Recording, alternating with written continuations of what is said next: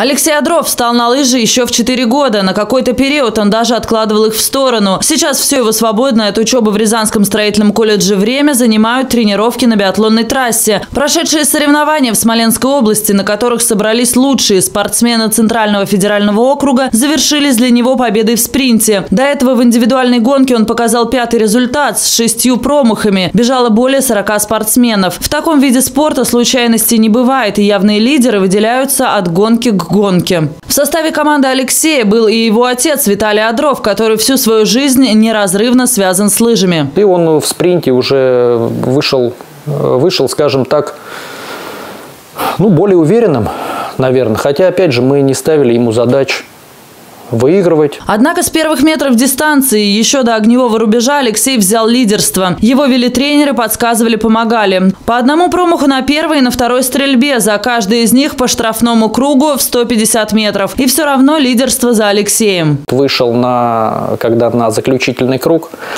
двухкилометровый после второй стрельбы стоя, он а, вышел с преимуществом там порядка 8-10 секунд. Но ну, на финише его преимущество оказалось над вторым а, соперником 17,7 секунды. Это, ну, скажем так, для дистанции в 6 километров это серьезное преимущество. Промахи на стрельбе для такого возраста – это нормально, но заметьте, какой у Алексея ход. И это неудивительно. Биатлоном он занимается последние два года, а лыжами уже давно, профессионально прошлом году приехал на лыжню России. Вообще я изначально приехал бежать ГТО, потом в итоге уже все на ГТО стартанули, а я ну, все, проспал старт и сказал, я лучше побегу лыжню России. Ну, побежал пятерку, выиграл в абсолюте.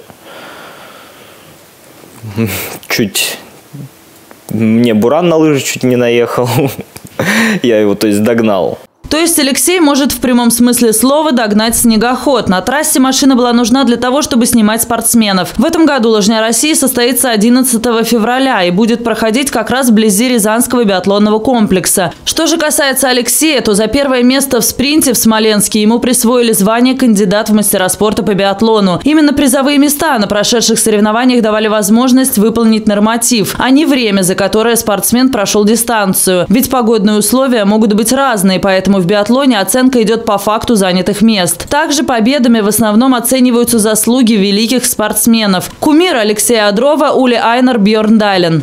Ули Айнер ну, уже сколько выступает, ему уже довольно-таки много лет, он наравне с лидерами бежит. Восьмикратный олимпийский чемпион, более 100 наград на этапах Кубка мира. Остается пожелать Алексею дальнейших успехов, ведь он настроен на достижение больших высот, а Рязанскому региону еще большего развития биатлонного спорта.